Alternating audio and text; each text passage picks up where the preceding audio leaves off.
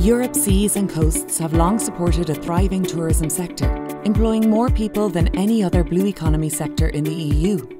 Europe is the most visited region in the world, uh, and one of the reasons for that is the fact that it has stunning coastal landscapes and beautiful islands, which also explains why coastal tourism is the key driver of wealth and jobs for our coastal communities. We all love to travel, we all love to be tourists, and we all know we go to the sea and we look at it, we soak it up, the you know, the healing, the blue mind as we say. So we appreciate the fact that live, thriving ocean ecosystems have got massive tourism value. Roughly one third of all tourism activity in Europe takes place in coastal destinations.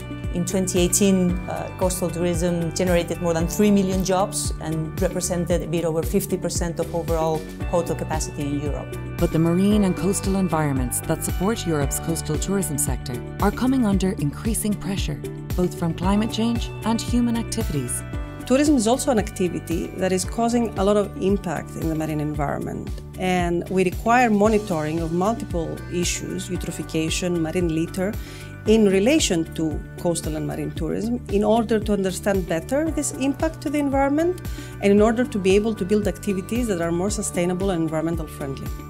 EMODNET, the European Marine Observation and Data Network, has been gathering data about our marine and coastal environments for over 10 years and making this valuable information freely available. In order for tourism to be developed sustainably, we need to understand better the quality of waters that are used for recreation, and this requires a lot of knowledge and a lot of data in coastal areas. And in EMODNET, we are planning to include this data and increase the spatial and temporal resolution of data in the coastal areas to support this. EMODNET can play a very important role by providing open access to a, to a wealth of marine data that we actually need to better understand our options, smarter use of our coastal areas and the ocean in order to inform better policies and, and make wiser trade-offs.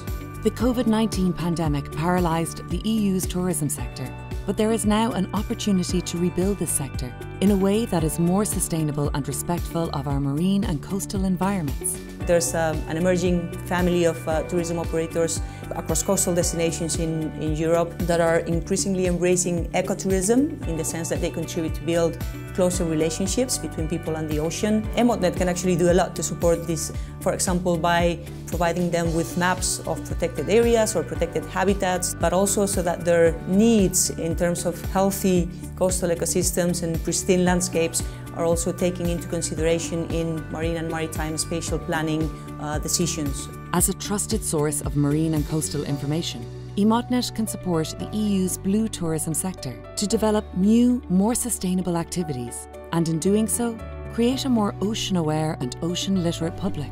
Coastal tourism industry is very well placed to do that because it is at the forefront of interaction with the greater public.